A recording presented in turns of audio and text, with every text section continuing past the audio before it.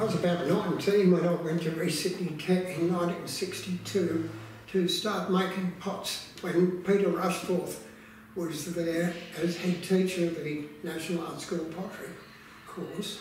Um, and his ideals and teaching made a great amount of sense to me and seemed to begin to answer some questions I was asking about what I could do with my life. I was a trainee for three years there, teacher trainee, and then Peter offered me the job as clay boy at East Sydney. And so I took that job on for the next couple of years, and I've been making pots and making clay ever since. My pottery practice involves um, the wheel, both kick wheel and electric wheel, um, and everything is wheel thrown. Um, the clays are made up from some local materials and some commercially available materials that I combine to get different effects in the clays. Uh, the glazes then, once again using local rock and um, milled materials that come from the industry where I make up recipes based on the old Sung glazes from the 9th century in Korea.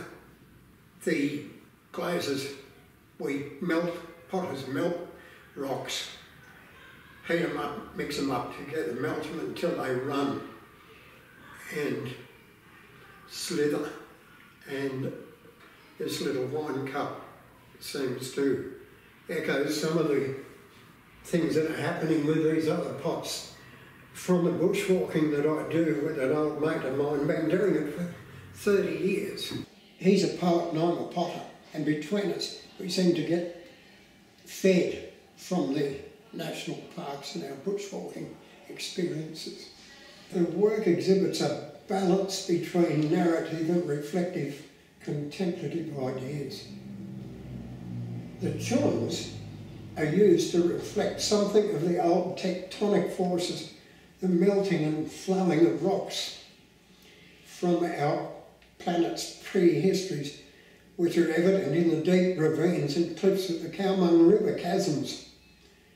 These landscapes seem to accept our walking tours of the Kanangra Boyd National Park, offering a sense of all will be well, even when we might have become stuck amid those beetling cliffs and sliding shale screes and fogs and red cedars and scary cave systems and river oaks by quiet pools. All that humbling beauty. Gary Purcell's little poem called Reflecting Pool. Still reflecting pool is still reflecting river oaks in the world I see. Now, my Palmer about this vision that came down the river.